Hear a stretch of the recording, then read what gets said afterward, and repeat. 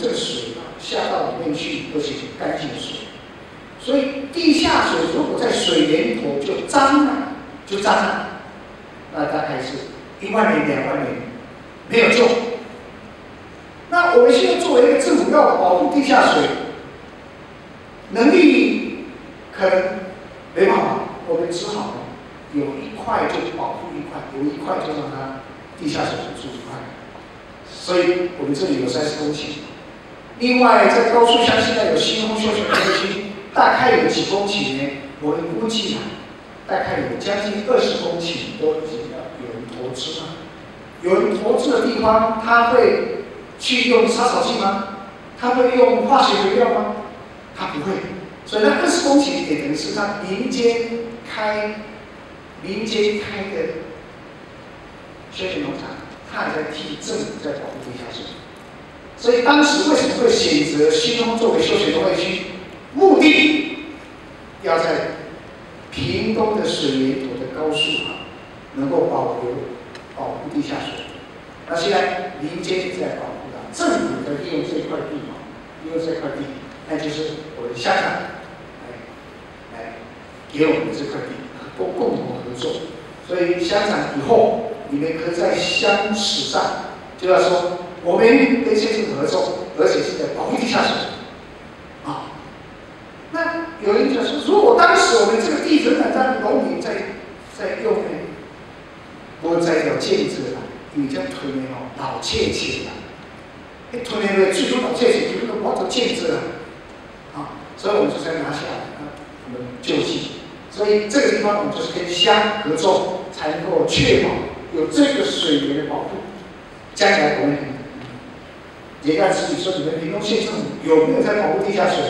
我们就拿出一个这个区块给大家看。我们跟高速高速乡如果一直在行销说，我这个是水水质水要保护区的水果，地下矿，我知道价值会越来越高。啊，所以这个价值我们大概就是屏东县政府一定要朝这样子来努力。我们在卖东西不要。一直在推销外销，我们要来买我们东西是要买我们的价值，而不是买价格。啊，大概我们要大家共同思考这样问题好，那这个这个地方的设计大概是这样子的，是要生态、生命、生活。那走火星，那我们尽量朝自然化。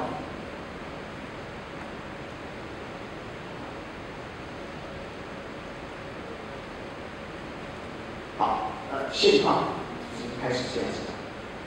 现况这样子，这几天在铺草坪，那有山丘，有山丘。这边可以看到这个新威大桥。那么国道十号，国道十号，哇，这家长请教。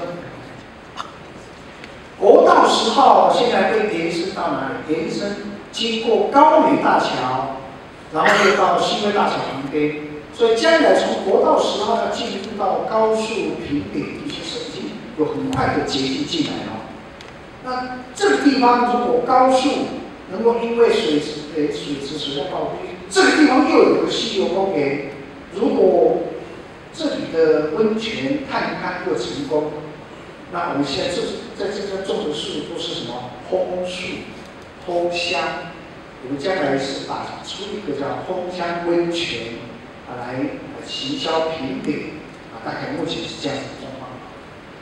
啊，在退休，啊，现在种树了，这个树都是有吸人送给我们的大树啊。那另外我们是工程报告，那大概好，那大概高速乡的溪流控制是这样子的，目前大概几公顷？大概三十公顷左右，旁边有一个六公顷的。这个私私有土地，它过买之后，他觉得旁边如果有三十公顷的溪流公园，他在旁边做做休闲游戏，一到就要那里建啊，搭我们的电车，那我们也是怎么样搭他的电车？为什么？因为互蒙其利，那这样子面积更大，了。他只能在这里做餐饮、做住宿、做休闲。大概目前是这样子。那因为这块地过大，它基本上是个公共空间，所以高速的西农休闲农业过去一直没有发展，是因为不让高速。一个是说休闲农业其实要进入高速，不对，政府投资一定失败啊。这是我们政府的责任，就是政府搭台搭一个平台，让民间来唱戏。我们政府的目的是这样子啊，所以我们在这里是搭一个比较大的舞台，啊，民间旁边来投资，然后可以清水，这个水沉淀之后的水是非常干净的。全台湾的是是最优质的水啊！好，那这个大家可以来清水，大概我们的稀有公园的目的在这里。那现在我就来介绍一下另外一个现在正在做的叫做光彩湿地林边。林边八达水灾是最严重的了哈，最严重的地区就在林边铁桥被冲毁。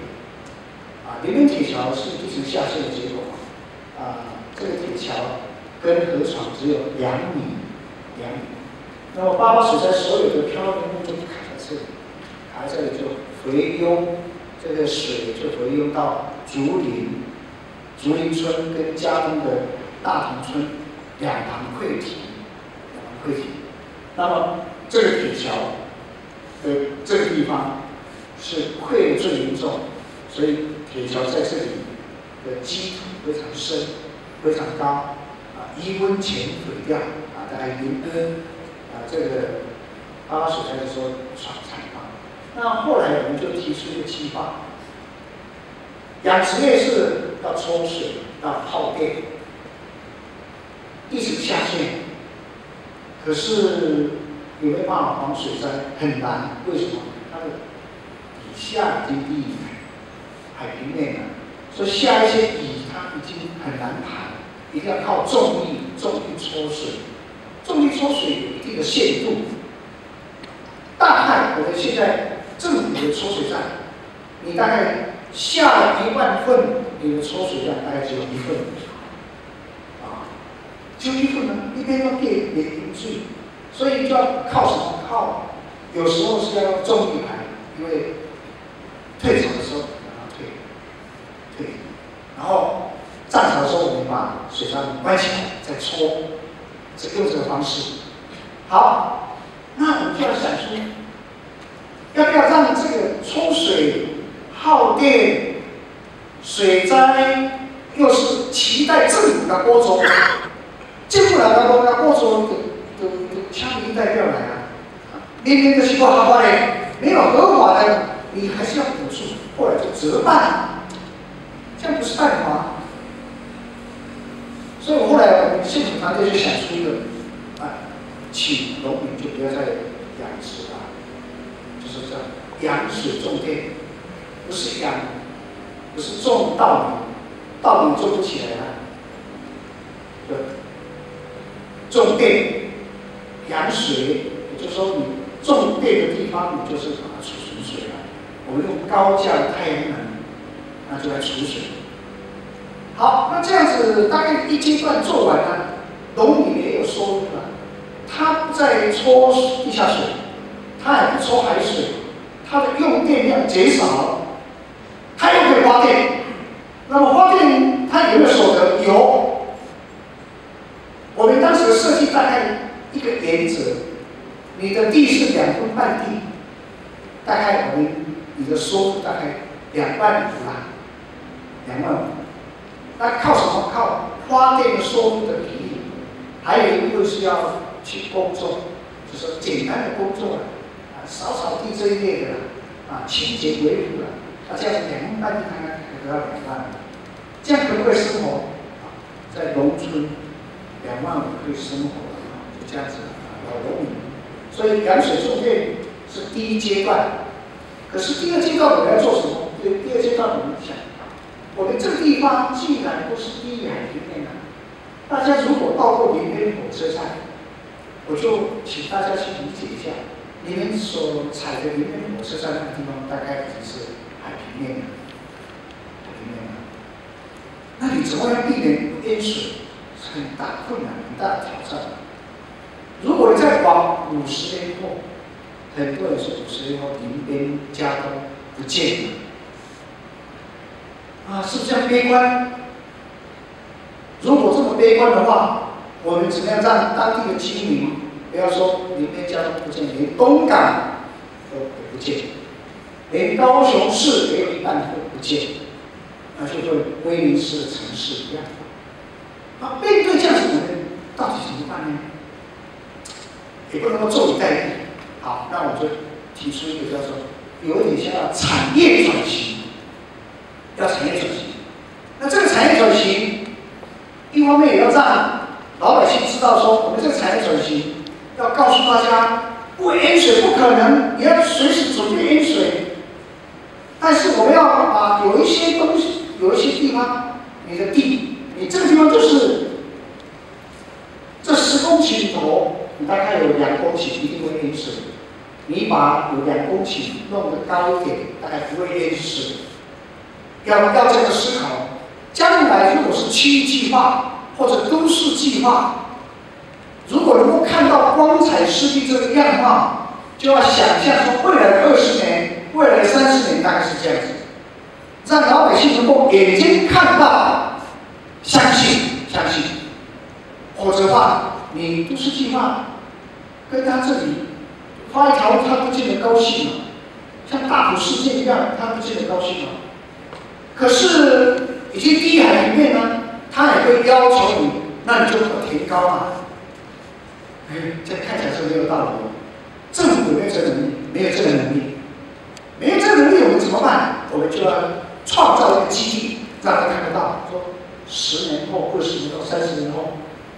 我们这个海平面上升的结果，很多地方一定会淹水。那怎么样不淹水？那你就要准备了，你把该淹的就让淹，啊高的地方把它弄高。我们就准备要适应这样的生活，要跟以水共生，它跟水共同存存存活。所以这个这个光彩湿地有这样的目的。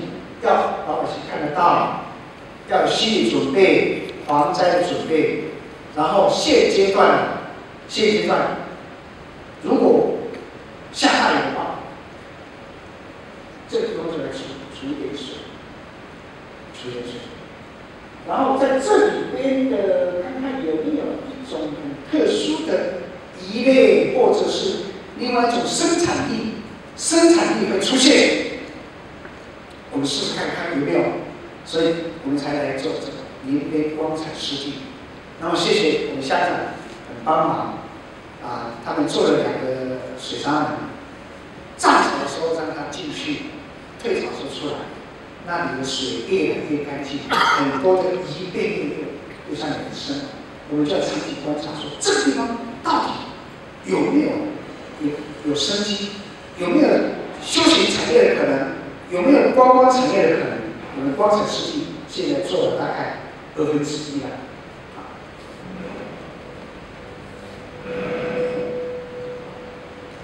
那么光彩湿地并不是只有政府在现在在做，我们也要民间合作。这个民间合作都是像李长龙，那有一些民间组织啊，里边都是工作室。那我们还要准备向私人来募款，因为政府的钱总是不够，总是没有，预算不太可能。那这里就是有联考处、水利处、公务啊、民间企业赞助、研究单位，还有核酸企来帮忙啊。我们有时候会用核酸企业的一些啊公共啊公共的这个款项，可以用在公共支出的在这里，啊，所投入的钱就多了。那么现在前两次台风啊，是抗热台风的时候，这个地方已经有出水，所以林边就很很惊讶，说下降应该很淹水，怎么淹水？原来的水不久就到这边来了，啊，一到这边来呢，让啊林边乡这个抽水站来得及抽，能抽的抽。抽不了的时候就关掉，一部分水就进到什么呢？这个大概几公顷啊？估算大概十十几公顷，连同红树林的地方大概二十公顷。那二十公顷的水量如果有一米深，那就不得了啊，就有调节作用，它就有小小洞庭湖的功能了啊。所以这个光彩湿地目前这个阶段大概达到目的了。好，那我现在就仔细介绍一下这光彩湿地。这是临边火车站在这里，临边离港，临边离港在这里，啊，临边离港。涨潮的时候，涨潮的时候，这个水就会从沿着这个放射高，然后我们就把它引进到这里面来。好，这个涨潮的水是不是很干净？照理讲，涨潮的水是很干净，可是所有这里附近的低温的废水，也都是排到这里面来。所以，台湾的养殖业，包括加工的生产区，我们如果用工业区，刚才铺，我想讲，要有着事业用水。鼠标的永续，事业的排水要分开。呃，台湾早期没有做这样的规划，所以现在就是事业用水跟事业废水各自会 TV 嘛，TV，T 船中有四位水，啊，有事事业起水。你看平杯到加工厂的这个管，它所在提防。的水体，抽的水干净吗？看样子是在海水抽的哦，但是那个氨氮都是超高，超高，这本身抽的水并不是很干净，啊，你排放出来结果又是这样子，都在这个大范围，说大范围不大，都在这里隔来隔去啊，它隔来隔去，再聚在一起，它就不干净啊。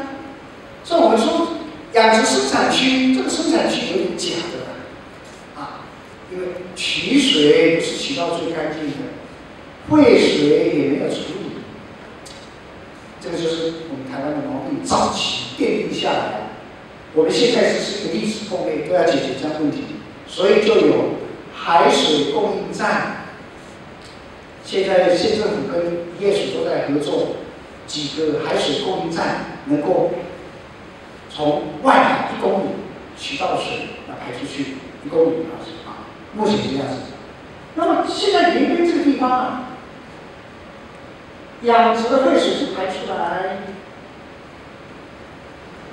涨潮的水都干净混在一起，那就往上升，往上升，升到这里，我就让它在这里徘徊，在这里进化、进化、进化到这里。